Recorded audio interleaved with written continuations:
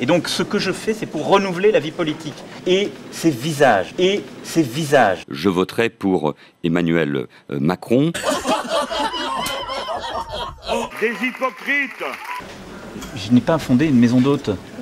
C'est, pardon de vous le dire. Il faut en finir avec une classe politique qui est encore aujourd'hui trop largement composée d'hommes de plus de 50 ans et dont trop peu ont connu le monde du travail. Ah oui, hypocrite Parce qu'on ne peut pas faire du neuf avec du vieux. Bertrand Delanoë, après des personnalités aussi diverses que Robert Hue, Alain Madelin ou Daniel Cohn-Bendit. Hypocrite Là où d'autres préfèrent se réfugier derrière les figures qui existent déjà, quand bien même elles auraient failli.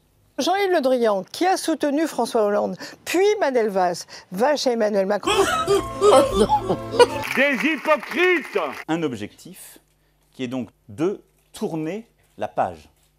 De tourner la page des cinq dernières années. Non, non, non, non, non, non, non, non, non, non, non, non, non, non, hypocrite Et je voudrais ici qu'on sorte de cette schizophrénie collective, où chacune et chacun aspire sans cesse au renouveau, pour ne le chercher que dans le visage des anciens.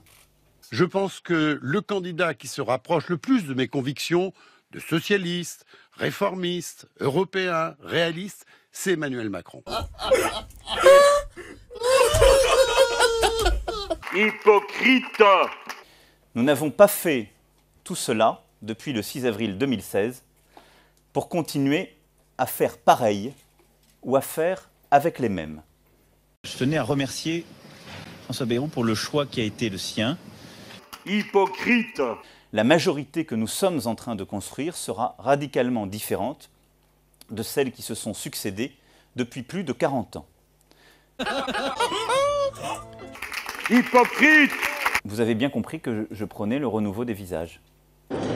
Encore des mots, toujours des mots, les mêmes mots. Hypocrite Nous ne sommes pas dupes Écoutez, c'est absolument ridicule. Ridicule. Ridicule. Ridicule. Ridicule. Ridicule. Ridicule. Ridicule. Ridicule. Ridicule. Ridicule.